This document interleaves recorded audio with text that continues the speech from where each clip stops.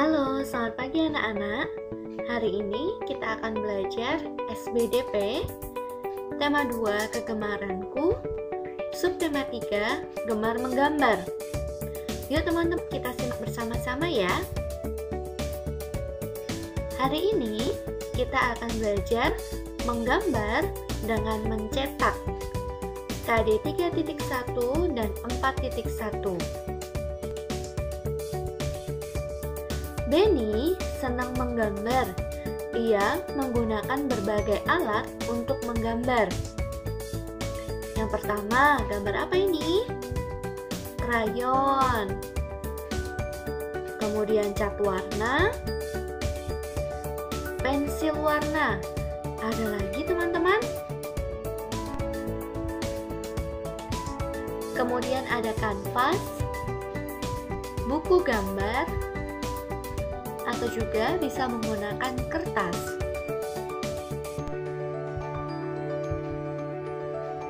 Ini namanya palet.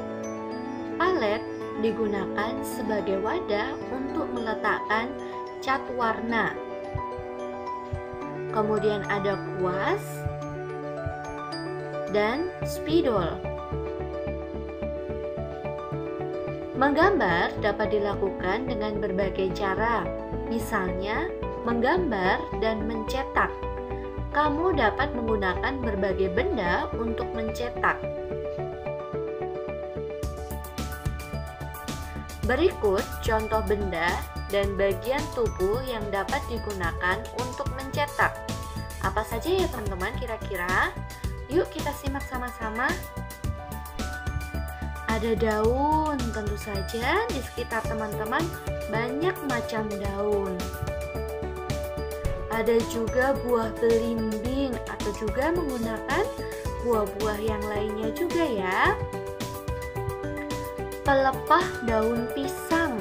Nah, ini namanya pelepah daun pisang. Ada juga menggunakan cetakan. Cetakan ini bisa kita buat menggunakan ubi atau juga menggunakan kentang dan cetakan-cetakan yang sudah jadi ya. Kemudian kita dapat mencetak menggunakan tangan kita dan juga jari kita.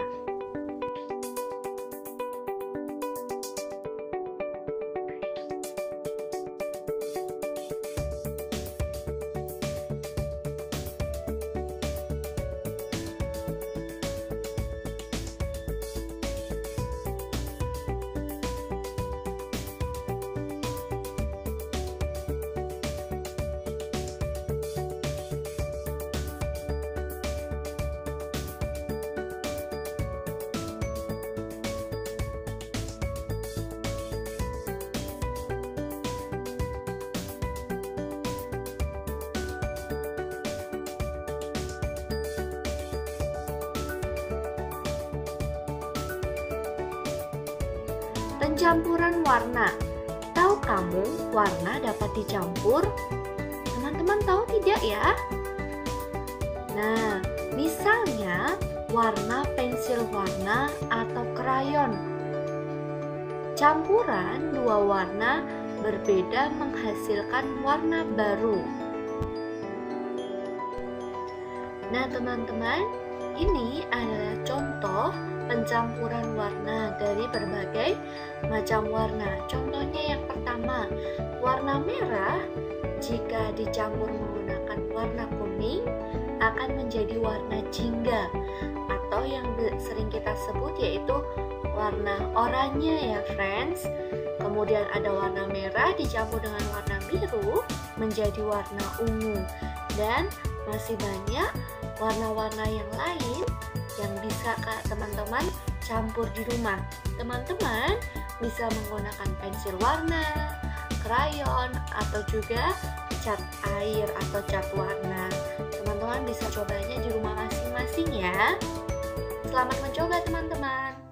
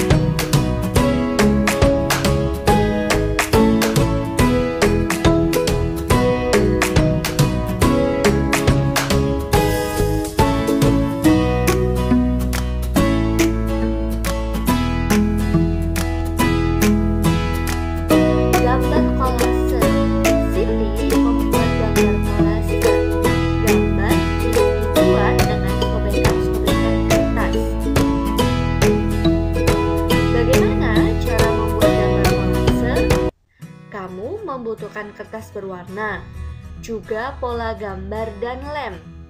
Sobeklah kertas berwarna, lalu tempel pada pola gambar. Ikuti bentuk gambarnya. Berikut adalah contoh gambar kolase. Nah, teman-teman bisa melihat ini adalah contoh gambar kolase.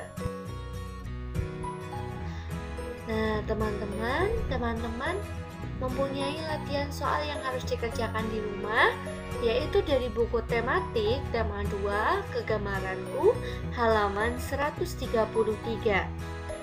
Demikian pelajaran kita hari ini. Cukup sampai di sini ya. Semoga teman-teman paham eh, dengan penjelasan yang Miss berikan. Tetap semangat ya teman-teman. Stay healthy and stay at home. Thank you. Bye.